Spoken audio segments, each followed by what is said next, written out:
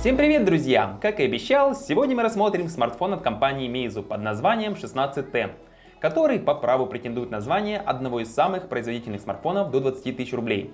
Ведь у него на борту установлен топовый процессор Snapdragon 855, а его емкий аккумулятор на 4500 мАч в связке с Super AMOLED дисплеем должен сделать его еще и долгоиграющим топом.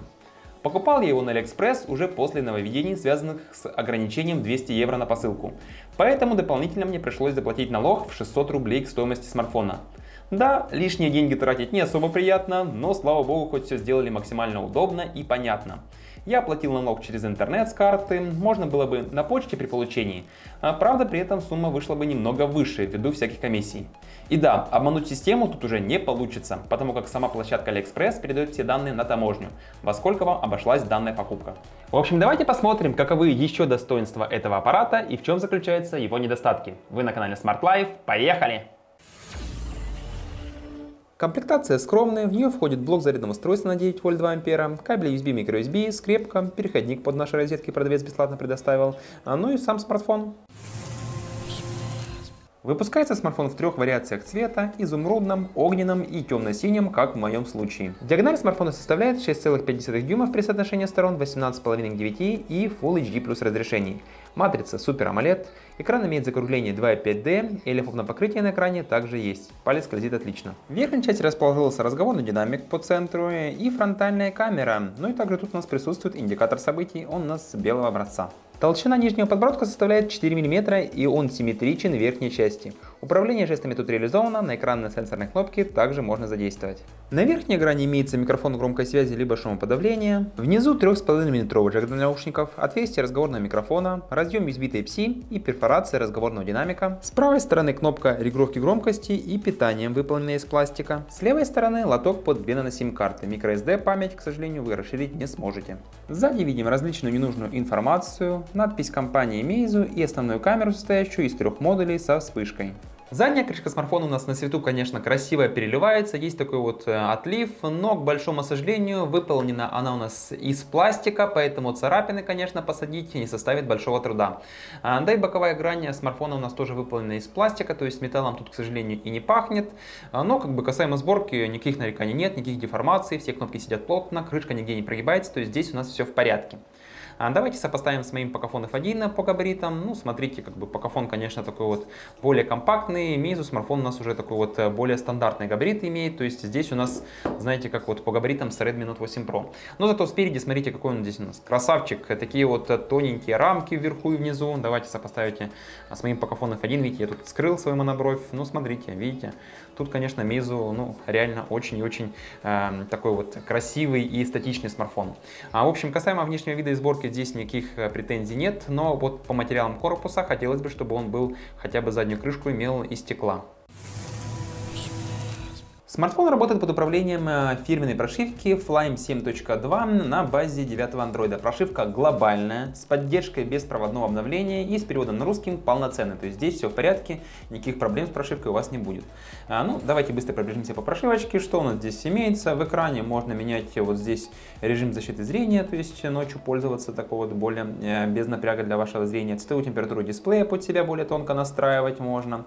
А также вот здесь э, показывать на выключенном экране тут у нас есть функция так называемая Always On Display, многим уже известная, то есть можно различные стили отображения выбирать, то есть здесь все у нас настраивается, все можно сделать, то есть это все хорошо.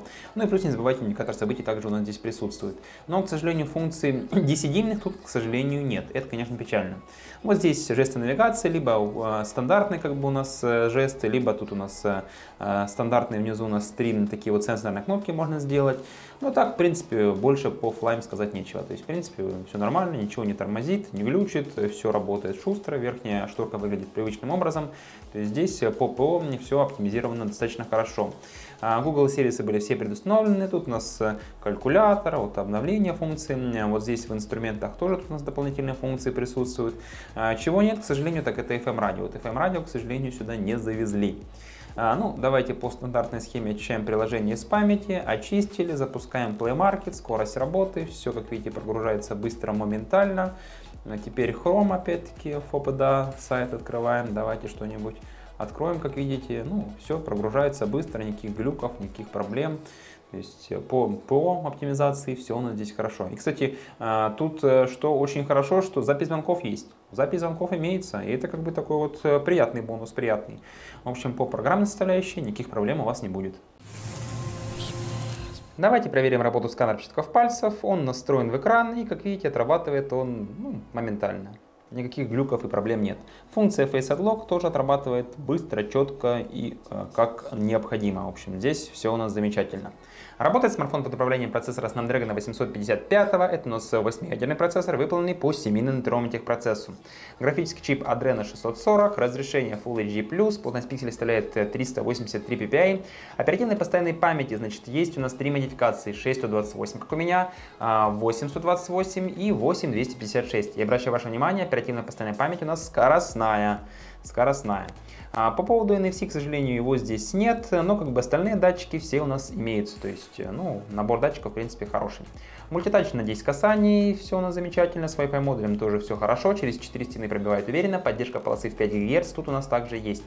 Теперь давайте посмотрим на результаты тестов Antutu. И для сравнения посмотрите на э, Pocophone F1 на 845 Snapdragon и на Realme X2 Pro на 855 Plus Snapdragon, чтобы вы ориентировались, на какие здесь показатели. Ну, как видите, показатели хорошие, как бы у всех трех процессоров хорошие показатели, но для того, чтобы вы понимали, а, какая у нас здесь такая вот есть эволюция.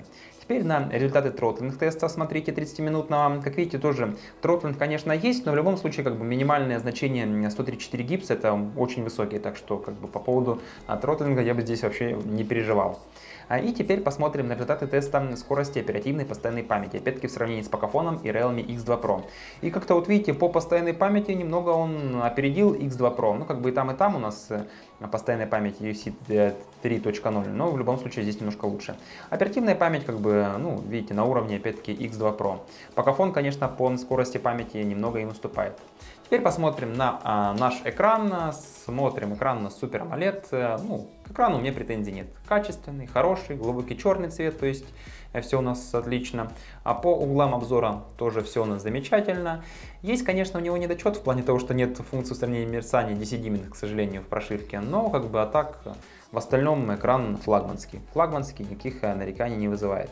А по максимальному и минимальному порогу яркости тоже все комфортно и в полной темноте сможете пользоваться. Видите, вот мерцание в полной темноте ощущается как бы. И у меня зрение там лет не устает, но у кого-то есть, бывает и устает.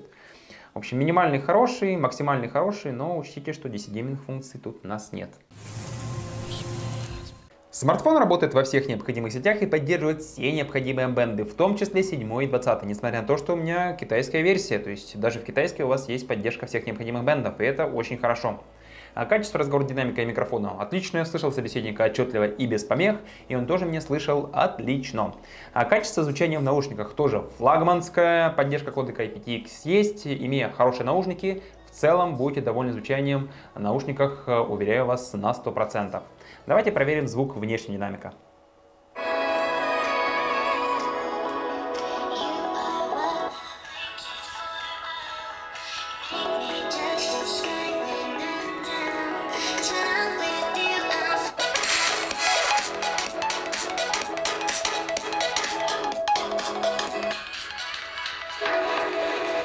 А, ну что могу сказать, друзья, здесь у нас оказывается стереозвук, он хороший, качественный, звук такой получается объемный, а, частотный диапазон у динамика тоже достаточно хороший, прослушивается весь необходимый спектр по частотам, так что к внешнему динамику здесь вообще претензий нет, он здесь флагманский. Давайте произведем GPS-тест нашего смартфона. На улице на сегодня пасмурная погода. Значит, спутники ловят смартфон отлично. В районе 25-30 спутников определяет, а это отличный показатель. GPS, GLONASS и видео поддержка здесь есть. Касаемо игр, здесь вообще отличная ситуация. Думаю, вы сами знаете, что Snapdragon 855 будет тянуть абсолютно все игры на максималках без каких-либо навыков на подтормаживание. Асфальт 9, PUBG, танки, в общем, все самые современные игры можно играть на максимальных настройках графики и не переживать. И тут даже есть такой вот игровой запас года на два вперед, это уж точно. А, при этом э, нагрев корпуса достигается до показателей в 39 градусов, я дискомфорта вообще не испытывал. Процессор греется до показателей в 50 градусов. Это нормальное значение, так что ни перегрева, никаких проблем с играми здесь у вас вообще не будет. Давайте посмотрим на яркость фонарика. Ну, смотрите, по запасу яркости все у нас здесь отлично, то есть фонариком все у нас здесь в порядке. А теперь по поводу камеры. Камера у нас здесь имеет э, тройной э, модуль, основной объектив на 12 мегапикселей Sony IMX362, также широкоугольный объектив от Samsung и еще один объектив у нас для измерения глубины резкости, так называемый портретный. А по поводу интерфейса камеры, вот таким вот образом он здесь выглядит. Замедленная съемка, панорама, ручные настройки, ночной режим и, кстати, ночной режим со штативом. Очень хорошо помогает, э, если у вас есть штатив, ночью можно делать реально очень и очень крутые снимки. А, значит, э, что еще здесь интересного? Запись видео максимально здесь поддерживается в 4К разрешении и есть 4К 60 FPS. Это реально круто, но, к сожалению, нет стабилизации при всем при этом. Стабилизация есть только при HD и Full HD разрешении 60, 30 FPS. А, значит, э, вот таким вот образом у нас здесь основной объектив. Вот так переключаемся на широкоугольный. В целом, как бы по объективам э, все у нас здесь хорошо. Фотографирует и широкоугольный, и основной объектив хорошо. Это у нас здесь такой вот цифровой зум. Э, никакого такого вот оптического зума у нас здесь, к сожалению, нет. В общем, в принципе, камера основная хорошая. Плюс можно поставить Google камеру и как бы поиграться, выбирать там различные режимы. В общем, по основному объективу все у нас замечательно. По фронтальной камере она на 16 мегапикселей, и здесь есть недочет. Опять-таки, очень часто в смартфонах Meizu я почему-то не в фокусе. Вот объект, который находится за мной, вот видите, обои, здесь в фокусе, а вот я не в фокусе. Я не знаю, почему так. Очень часто, вот когда выбираю портретный режим, немножко вроде бы как ситуация улучшается. А, то есть вот в Meizu 16 XS такая же была проблема. И, по-моему, в Meizu X8 такая проблема была. То есть Meizu, я не знаю, почему-то неправильно выставляет фокусное расстояние на фронтальной камере. То есть э, я получаюсь немного размытый, не такой вот четкий, резкий. И лично это мне не нравится. Может быть, они специально это делают. Китайцам нравится, когда лицо размытое. В общем, я не знаю, как решить эту проблему. И в Google камере такая же вот, вот фигня. В общем, по фронтальной камере есть недочет. А там смотрите примеры фото-видео и оценивайте все сами. Давайте произведем тест камеры нашего смартфона. Запись видео производится в Full HD разрешении, но 4К также у нас поддерживается. А, значит, автофокус отрабатывает быстро, моментально. Значит, стабилизация у нас работает только при Full HD и HD разрешении 30 FPS. А, при Full HD 60 FPS она у нас не работает, и при 4К 60 и 30 FPS тоже у нас не работает. Ну, как бы это у нас стандартная картина. Значит, цифровой зум 8 раз. Детализация, в принципе, достаточно неплохая. А, ну, в общем, качество видеосъемки хорошее. Хорошее снимать можно, но жаль, что, что при 4К, к сожалению, нет стабилизации. Теперь давайте проверим запись видео при 4К разрешении. Как видите, стабилизации у нас, к сожалению, нет, поэтому снимать можно только стоя и ходить как бы особо не стоит при 4К разрешении. Но, по крайней мере, снимать можно, так что тут уж решать вам. Далее проверим запись видео при недостатке света, как у нас с фокусировочкой, моментально, быстро, дальний объект съемки. Стабилизации сейчас по 4К у нас разрешения нет, но частота кадров у нас не падает, все в порядке. И так с фокусом тоже полный порядок. Ну и напоследок привычная запись видео со вспышкой яркости у нас более чем достаточно. Э, и с фокусировкой тоже все в порядке.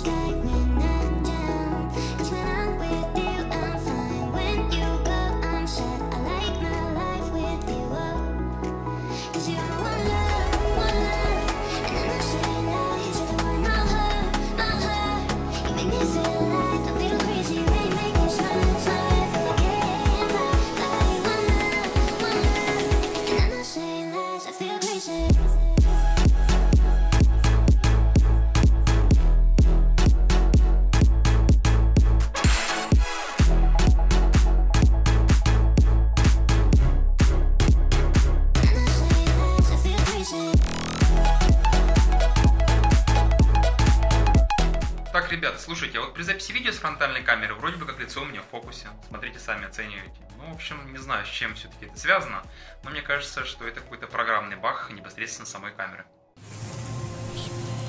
Емкость встроенного аккумулятора составляет 4500 мАч. Давайте посмотрим на результаты разряда смартфона в разных условиях, час просмотра видео по Wi-Fi на YouTube при средних показателях яркости, э, час игры в Asphalt 9 при таких же значениях яркости и насколько смартфон садится за ночь при активной сим-карте. А как видите, показатели хорошие, то есть день гиперактивного использования, либо два дня среднеактивного использования он нас выдерживать будет без проблем. Быстрая зарядка у него также поддерживается. В общем, по автономности и скорости зарядки тут у смартфона все у нас в порядке.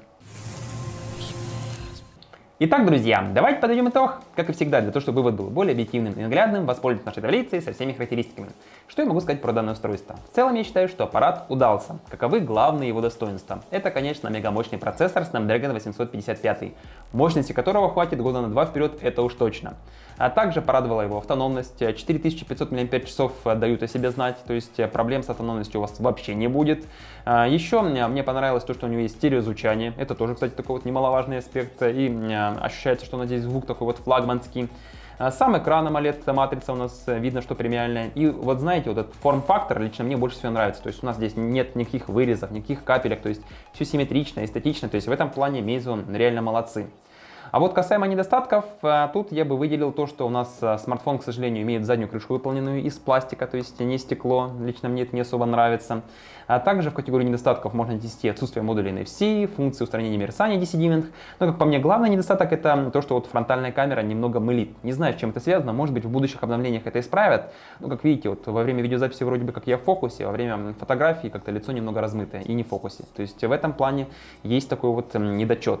Но так, в общем и в целом, я считаю, что аппарат э, заслуживает вашего, вашего внимания и рекомендовать покупки, я считаю, что его можно. Кстати, еще будет э, сравнительные мегаобзоры с участием данного аппарата, так что в будущем обязательно еще сопоставим его с другими смартфонами и там в реальности посмотрим, насколько он реально конкурентоспособен. И если не хотите пропустить э, такие вот сравнительные мегаобзоры, обязательно подписывайтесь и нажимайте на колокольчик. На этом большое всем спасибо за внимание и до скорых встреч в будущих обзорах.